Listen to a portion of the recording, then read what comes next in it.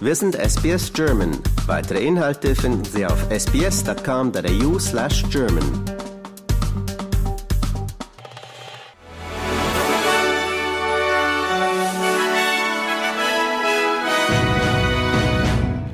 Sie hören den SBS German News Flash an diesem Montag, den 1. Juli. Mein Name ist Julia Greve. In der ersten Runde der Neuwahlen in Frankreich liegt laut Hochrechnungen das extreme rechte Bündnis um Marie Le Pen mit 34 Prozent der Stimmen klar vorne.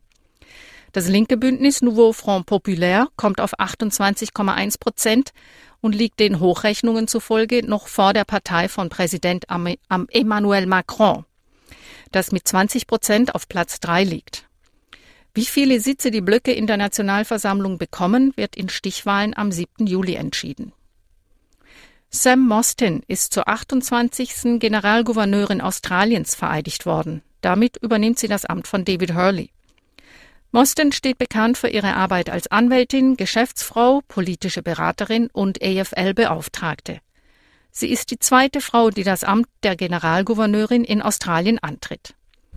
Letzte Woche verabschiedete das Parlament ein Gesetz, mit dem das Gehalt der Generalgouverneurin für die fünfjährige Amtszeit auf über 700.000 Dollar pro Jahr erhöht wird. Laut Frauenministerin Katie Gallagher steht dies im Einklang mit dem Gehalt ihrer Vorgänger. In der Schweiz sind durch Unwetter am Wochenende mindestens vier Menschen ums Leben gekommen. Eine Person wird noch vermisst. Vor allem die Kantone Wallis und Tessin waren davon betroffen. Dort haben die Unwetter zu Überflutungen und Erdrutschen geführt.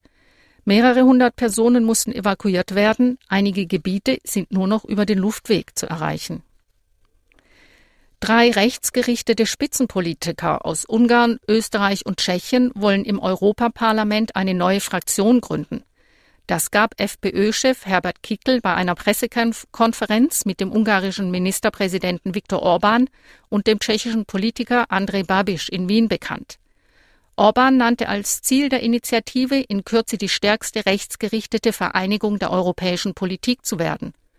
Um eine neue Fraktion im Europäischen Parlament zu gründen, braucht es mindestens 23 EU-Abgeordnete, die mindestens ein Viertel der 27 Mitgliedstaaten repräsentieren. Damit benötigt das neue Bündnis noch die Unterstützung von Parteien aus vier weiteren Ländern.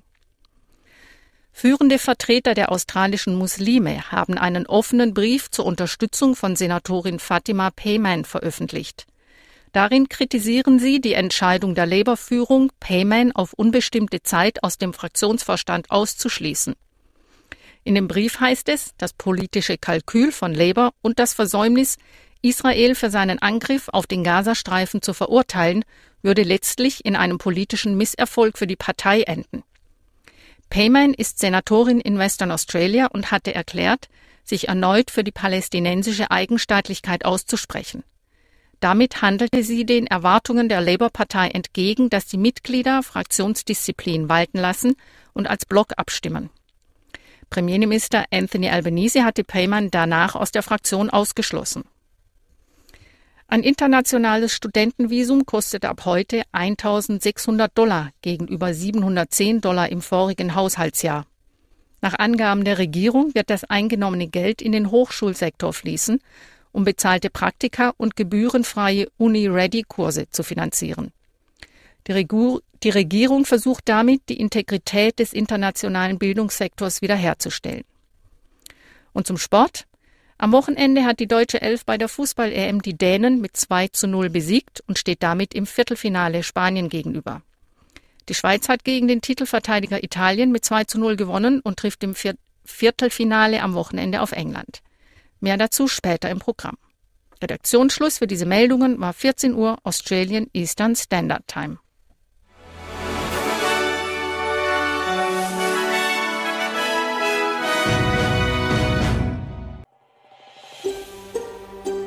Lust auf weitere Interviews und Geschichten? Uns gibt's auf allen großen Podcast-Plattformen wie Apple, Google und Spotify.